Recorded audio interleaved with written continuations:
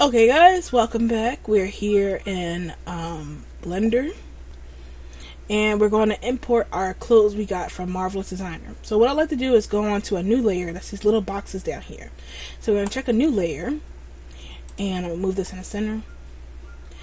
And I'm going to go File, Import, OBJ, and um, we're going to find our clothes that we had. And I think it was these yoga clothes right here. And you see the clothes come right in. So when we hold down shift and activate the first layer, you'll see it goes right onto our avatar. Now, um, your boobs probably won't be shooting through them like mine are right now. So I'm just going to turn it off. And you see it fits just like it did when it was in Marvelous Designer. Now, remember when I told you that there was a way you can just quickly fix this, the clothes coming through? Um, we can just click on the garment and then go into sculpt mode and you can activate the inflate. This is just my half-ass way of doing it, and you can just do like little light clicks, and you see it puffs through. Now, if you have a perfectly fitting garment in Blender, and you notice that in world is still clipping through, even though you have it weighted properly and stuff like that, it's not you. It's actually the Kemono. Um, dev kit. For some reason, uh, I think the mannequin is just a little bit smaller than what it actually is in Second Life. So even if this is perfectly set up here in uh, Blender, it will be um, a little bit like not quite fitting. That's just something that I've ran into a lot when I was working on this. I'm just gonna use smooth real quick and smooth out some of these wrinkles. I like the wrinkles, but I don't like them being super harsh because that gives it that marvelous look, I guess you could call it. It's, it's harsh it's gross. Okay, so now we have it all set up and it is ready to like really pretty.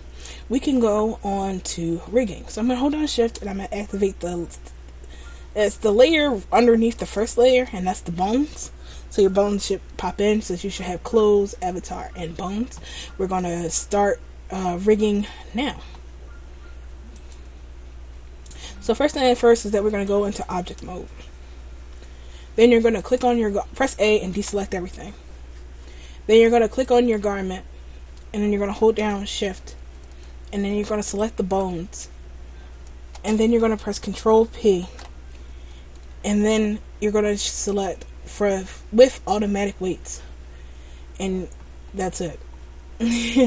your avatar is rigged to the skeleton. So when we click on the bones again, any bone will do really. Just grab something that's sticking out. Um, and then we go into pose mode. You can click on a bone with your right mouse, and then you can press R, and you'll see that it's actually moving but it's not moving in an ideal fashion. I mean, you see this leg thing right here is uh, going bananas, and it really shouldn't. So we can fix that by doing some weight painting. Now, I have a little trick here when it comes to weight painting uh, garments that are in two parts, like the t-shirt and the pants. I actually like to separate them before we go into work.